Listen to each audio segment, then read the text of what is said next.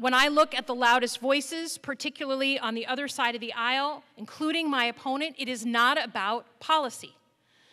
It is about denying the results of the 2020 election, drumming up fear and exclusion of other groups. It's using our children as political pawns. It feels to me that at the most senior levels, the soul has left the body.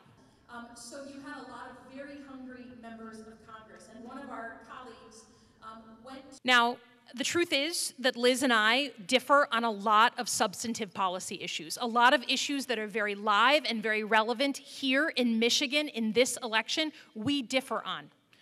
But there's one really, really big thing that we agree on, and that is preserving American democracy, that the thing that all of us here and the two of us desperately, desperately love. So what do we do to get through this? What do we do if we look at history to feel like... And while we are in one of the tightest races in the country, it is a toss-up, and we will not know probably till the day after the election who has won. Um, I feel confident in this decision because this country needs more than what it's getting right now, and I couldn't be more proud to welcome Liz Cheney to the stage.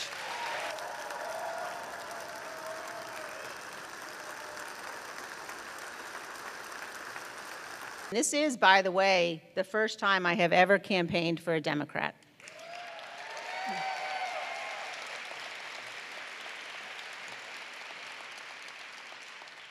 And I have to tell you that it was not a hard decision at all.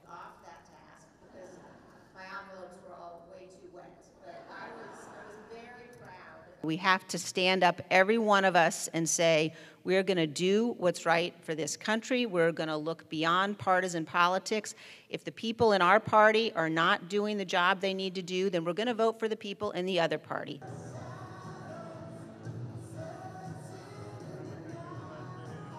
And I am honored to ask you all, Democrats and Republicans and independents, to cast your vote in this election for a representative who does that, a representative who serves the people of Michigan, a representative you can count on to do the right thing, to be your voice, and to work hard on behalf of this whole country, and to put country above party.